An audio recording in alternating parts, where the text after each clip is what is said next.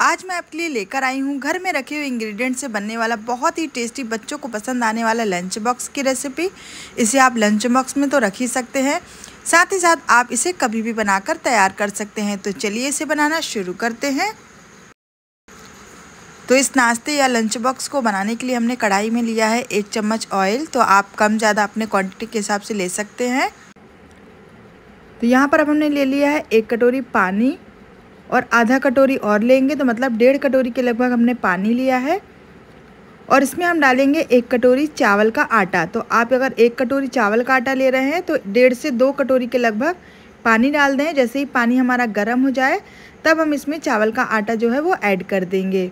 और इसको अच्छे तरह से मिक्स करेंगे। इसी में हम साथ में थोड़ा सा नमक भी डाल देंगे, जिससे कि बाद में ये बिल्कुल भी फीका ना लगे। और इसको बहुत अच्छे से मिक्स करते जाएँगे कंटिन्यूसली जिससे कि कोई भी लम्स या गुठली ना पड़े। तो ये देखिए थोड़ा सा नमक भी हम इसमें डाल देंगे। और इसको कंटिन्यूसली हम चलाते रहेंगे। इसको बनाने में बहुत ज़्यादा समय नहीं लगता है। आप इसको 10 मिनट के अंदर ही बना लेंगे, क्योंकि इसको जल्दी से मिक्स करना है। बस इतना ही हमको इसमें काम करना है। तो चावल के आटे को, पानी और नमक को अच्छे से हमें मिक्स कर देना है। और इसका एक सॉफ्ट सा डो लगा देना है। तो बहुत कम पानी नहीं डालना है हमको, नहीं तो क्या होगा? कि इसकी लम्स या फिर गुठलियाँ पड़ जाएँगी जो फिर खाने में अच्छी नहीं लगती? और इसको कंटिन्यू चलाते रहेंगे जब तक कि एक डो जैसे ना बंध जाए।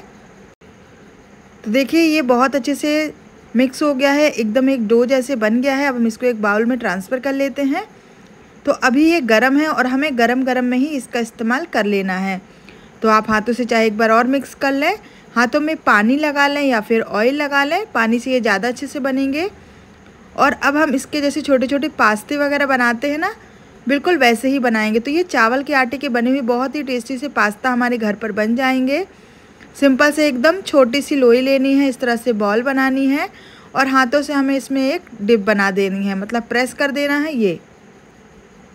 तो इस तरीके से इसमें एक सेप बन जाएगा। आप इसे चाहे तो नूडल्स जैसे बना सकते हैं या फिर अपने मनपसंद किसी भी सेप में बना सकते हैं। तो बस हल्का सा पानी लगा लें और एकदम छोटी सी बॉल ले लें और इसमें हमें डिप लगा देनी है बस। तो ये हमारे बहुत ही अच्छे टेस्टी से पास्ते बन जाएँगे जो कि चावल के आटे के बने होंगे और घर पर बने होंगे। तो ये हेल्दी भी हैं। इस तरीके से सारी बॉल्स हमें बनाकर तैयार कर लेना है।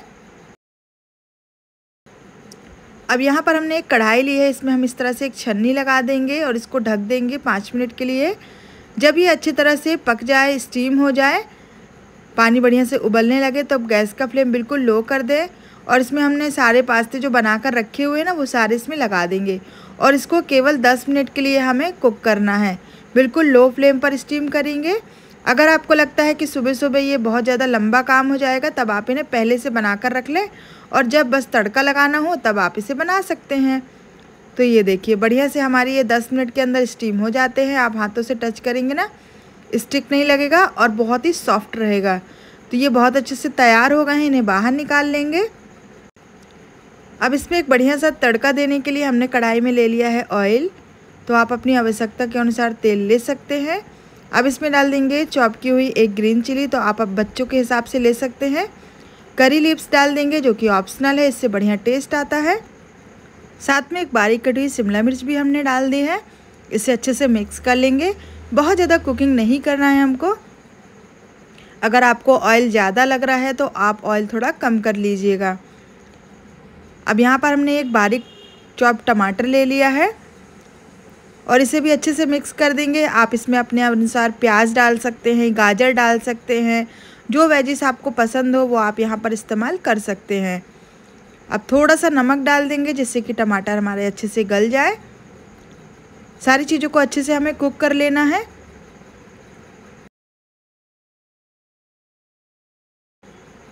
जब टमाटर हमारे बहुत अच्छे से गल जाएँगे, तब हम इसमें डाल देंगे एक चम्मच टोमेटो सॉस आप यहाँ पर हर तरह के सॉसेस डाल सकते हैं, लेकिन मैंने यहाँ पर केवल टोमेटो सॉस का इस्तेमाल किया है और इसे भी हम अच्छे से मिक्स कर देंगे।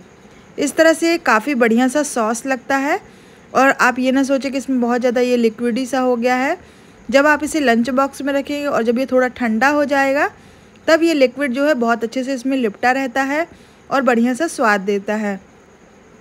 सॉसेस तैयार होने के बाद हमने इसमें डाल दिया हमारे स्टीम किए हुए पास्ते। तो मार्केट से पास्ता तो हम हमेशा बनाते ही हैं, लेकिन बच्चों को अगर आप इस तरह से बना कर देंगे ना तो ये हेल्दी भी है और टेस्टी भी है। तो हमने इसको भी अच्छे से मिक्स कर देना है। सारा प्रोसेस हमने हाई फ्लेम पर किया है। तो आप अपने हिसाब से फ्लेम बढ़ा घटा सकते हैं और इसको अच्छे से हम कुक होने देंगे दो मिनट के लिए। लास्ट में थोड़ा सा हम तिल डाल देंगे। ये ऑप्शनल है इससे थोड़ा देखने में और भी लुकवाइज लगता है। और इसे भी अच्छे से हम मिक्स कर देंगे। तो ये जो लंच बॉक्स है ना, अगर आप बच्चों को देंगे तो उन्हें तो बहुत पसंद आता ही है। लेकिन अगर आप, आपने भी एक बार इसे बनाकर खा लिया ना तो आप बाहर के सारे पास्ते भूल जाएँगे और इसी तरह से बनाना पसंद करेंगे। तो यहाँ पर मैंने पास्ता तो बनाया ही है, साथ में मैंने रखा है केले की चिप्स। आप इसकी जगह पर और कुछ भी रख सकते हैं जो आपको पसंद हो। और इस तरह से हमने ये पास्ता को भी असेंबल कर दिया है।